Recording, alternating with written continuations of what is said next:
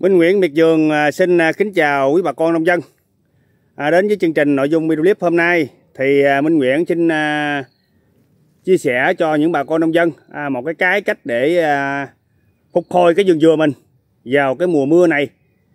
Là hiện nay trên các vùng đồng bằng sông Cửu Long chúng ta đang đang vào tâm điểm của mùa mưa bão thì có một số, số nơi nó sẽ bị ngập nước ngập toàn bộ cái diện rộng trên cái mặt clip dừa chúng ta. Thì cái cách gì để chúng ta khắc phục được cái hiện tượng mà cái xử lý lại cái cây dừa bị ngập nước cho nó hiệu quả? Và những dùng những loại phân nào phục hồi cái cây mau mau lại sức nha, không bị mất sức. Và rất là nhiều bà con đang thắc mắc, nếu mà cây dừa ngập cục bộ như vậy là nó có ảnh hưởng tới cây dừa hay không?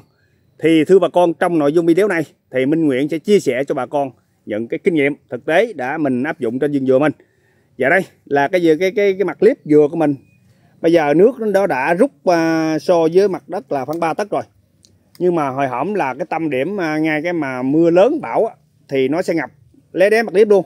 Và thậm chí nó ngập toàn bộ mặt clip trên uh, một tấc nước luôn.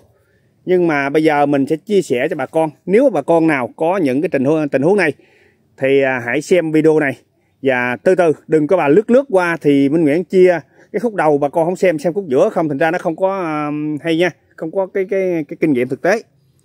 Thì bây giờ cái thủy triều nó à, trời thay cái à, năm nay là nước uh, nước nó sẽ dâng rất là cao. Thì uh, có một số bà con đã bị uh, ngập cục diện ngập toàn bộ cái mặt clip thì bây giờ Minh Nguyễn chia sẻ cho bà con nếu mà cái dừa mà nó đã trưởng thành như vậy ha nó tầm nói chung là nó cái gốc nó khoảng từ một năm đổ lên. Thì à, nó không bao giờ cái dừa nó chết nha. Nhưng mà với điều kiện là cái dừa không bị ngập cái đọt nha. Nhiều khi có những bà con mà trồng mới trồng xuống giống dừa à, bị những cái cây dừa mà nó nó một hai tháng á, thì có thể ngập được năm sáu tấc nước thì có thể là nó ảnh hưởng nó ngập à, cục bộ cái à, cái cây dừa thì cây dừa nó sẽ chết. Bởi vì à, cho nên à, cái dừa nó ngập thì ngập gốc không chết nha với một điều kiện là nó ngập bây giờ nè. Cái dừa bây giờ ờ, minh nguyễn thí nghiệm với bà con như vậy. Chẳng hạn như vậy là cái dừa mình đã lâu năm rồi ha.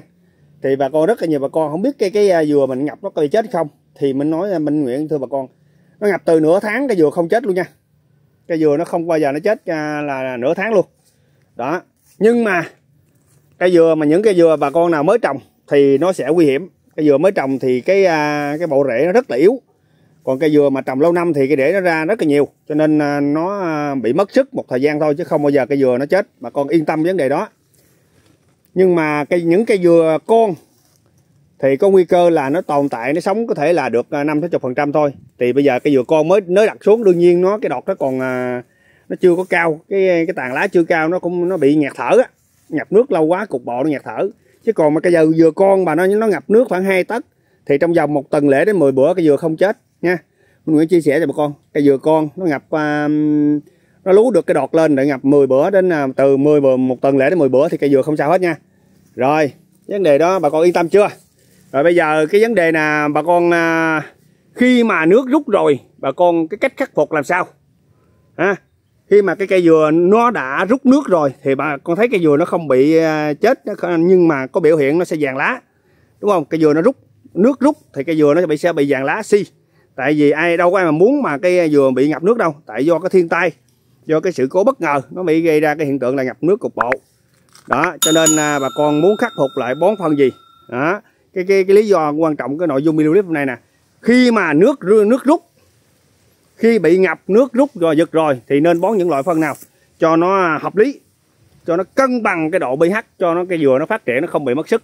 Ha thì đây hôm nay Minh Nguyễn sẽ chia sẻ cho bà con một cái tuyệt chiêu để cho bà con giúp được ờ, bà con có cây cái vườn dừa nó thật là nhiều trái nha. À, nó nó không bị à, bị mất sức.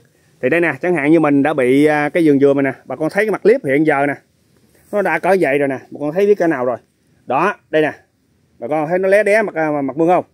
Nó lé đé luôn tại bây giờ ngay cái kinh nè nước nó xả ra cho nên nó lú được cái gốc dừa lên vậy chứ không là nó ngập cục bộ luôn nhưng mà nó ngập cái mức độ là vừa thôi chứ nó không có ngập mà, mà toàn bộ như những bà con ở à, như à, Long An à, An Giang hay là Vĩnh Hưng. Miền đó là cái vùng nước rất là cao. Đó.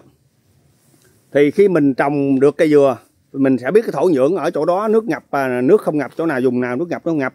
Nhưng mà bất ngờ thì cái cái thủy triều nó dập mình trở tay không kịp thì ảnh hưởng thôi. Nhưng mà bà thôi yên tâm đi cây dừa nó không chết cây dừa nó sẽ nó sống lâu năm lắm nó chịu cái rễ nó nó cực mạnh luôn nó không có chết. Nhưng mà bây giờ nè mình à, sử dụng loại phân gì? Bây giờ nước à, khi vừa bà con đã bị ngập nước rồi, đúng không? Ngập nước rồi, nó rút rồi, bà con đừng có bón phân à, hóa học gì hết nha bà con. Minh Nguyễn chia sẻ cho bà con, tại vì nếu bà con cái nước nó mới rút, cái dừa chúng ta nó chịu một cái trận là từ 5 đến 10 ngày, cái rễ dừa nó sẽ bị bị úng rồi, ha. Cái rễ dừa nó úng, cho nên bà con đánh cái phần mà hữu cơ, phân phân hóa học nữa thì vô tình hại nó nữa cái rửa cái rễ nó yếu ớt cái rễ dừa chẳng hạn chẳng nó y như cái hàm răng chúng ta vậy đó. Mình Minh Nguyễn có chia sẻ trong à, video clip trước á cái rễ dừa như cái hàm răng chúng ta. Cái hàm răng mà đã nhức rồi mà không không muốn ăn được cái gì hết muốn ăn ăn cũng không được nữa. Cho nên mình phải tìm cách giúp cho cái hàm răng mình chắc khỏe và cái bộ y như cái bộ rễ dừa mình phải làm sao cho cái cây dừa mình nó nó nó nó, nó phục hồi lại cái bộ rễ. Đó.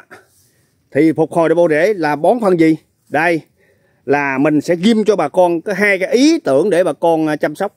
Không phải bà bắt buộc bà con phải mua cái loại phân này mới phải sử dụng được, nhưng mà mình chia sẻ cái ý tưởng đây để cho bà con có cái cách cách để bà con phục hồi lại. Thứ nhất, dừa nước à, cái dừa bị ngập nước, khi nó rút rồi là bà con để cái đất cho nó khô ráo, đừng có đụng chạm gì tới nó hết. Để cho đất nó khô ráo đàng hoàng đi, cảm giác nó có cái gia quy có cái ráo cái mặt đất bà con mới bắt đầu mới tiếp cận, mới à, là xử lý, phục hồi lại nha thì phục hồi như sau. Bà con sử dụng thứ nhất là cái súp ba lân súp be lân á súp be lân ta nói là lân điển nha quý bà con nông dân. Lân điển á đó, bà con sử dụng cái loại bao đó bà con để toàn bộ mặt clip cho mình. Thì cái súp ba lân đó thì cái dạng lân lân là nó có tiếng tâm nào giờ nhưng mà hồi lúc trước nó hiệu quả rất cao. Nhưng mà sau này thì qua một cái giai đoạn nào đó thì cái à, ảnh hưởng tới cái sự mà giả mạo đó thì cái lân súp ba lân nó cũng không còn à, uy tín như xưa. Thì Minh Nguyễn cũng chia sẻ cho bà con nói cái vấn đề đó là cái mẹo mẹo thôi cái súp ba lân hồi xưa đó là nó hạ phèn vô địch luôn. Đó còn bây giờ có những loại phân cao cấp hơn. Chẳng hạn như là phân humic uh, à, fulit 10 kg bên à, của Minh Nguyễn à, chia sẻ cho bà con đó. Đó cái loại đó thì nó là trong của loại mà mà hạ phèn à, và xử lý bầu rễ kích thích bầu rễ phát triển mạnh. Thì cái bà con xử lý cái đó là nó sẽ hấp thụ được cái dinh nó, nó nó hạ phèn. Khi mà nước nó ngập á, thì nó sẽ mang thứ nhất là nó có những cái phù sa rất tốt nhưng mà thứ hai nó cũng có là những cái cái cái à, khuyết điểm của nó là nó mang cái chất phèn vô cái cây dừa chúng ta cái cây cái đất chúng ta. Thì cái phân đó là nó sẽ hạ hạ phèn. Nó à, hạ phèn nhưng mà nó nó tăng trưởng bộ rễ nó kích thích bộ rễ phát triển rất là mạnh. Như Minh Nguyễn nãy cũng chia sẻ cho bà con đó. Cái à, cái phân đó là dạng phân tăng trưởng kích thích bộ rễ.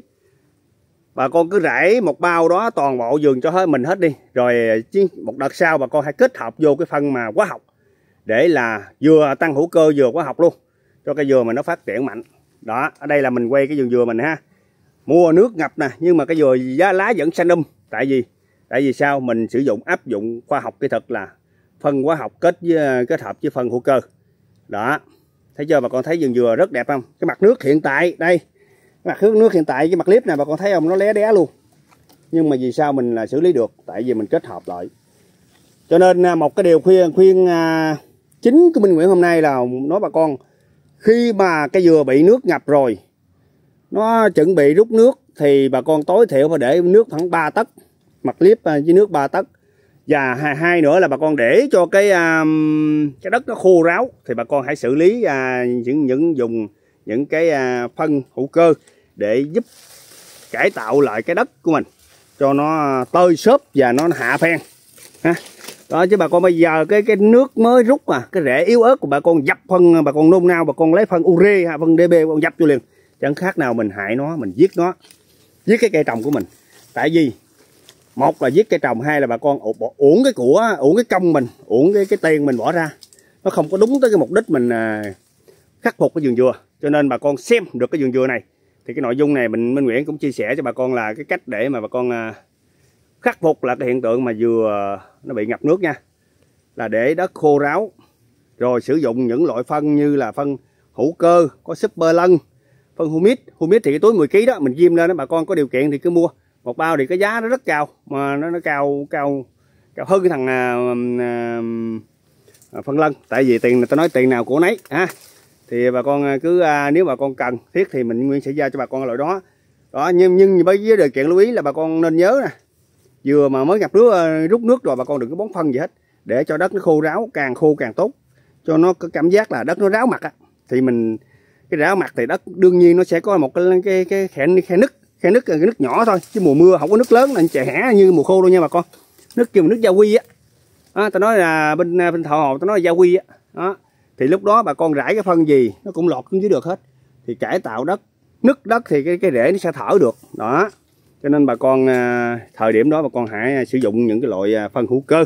Như mình Nguyễn chia sẻ ha thì cái dừa bà con sẽ đạt hiệu quả rất là cao. Đó. Như đây là cái vườn dừa của mình thì mình đã cũng áp dụng theo cái công thức đó. Mình bị ngập ngập nước nhưng mà mình ngập mức độ là cũng vừa phải thôi chứ không có đến đổi mà ngập tới hai ba tấc nước nha.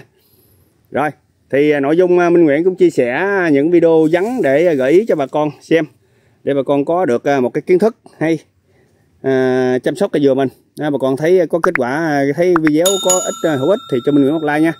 À, và đăng ký để um, mình sẽ ra những video tiếp sau để giúp bà con khắc phục được cái vườn dừa mình nha. Rồi thôi Minh Nguyễn chào bà con. Chúc bà con nông dân à, thật là nhiều sức khỏe nha. Rồi đây là cái cây dừa của mình. Dừa mã lai bầu 7 năm tuổi đây.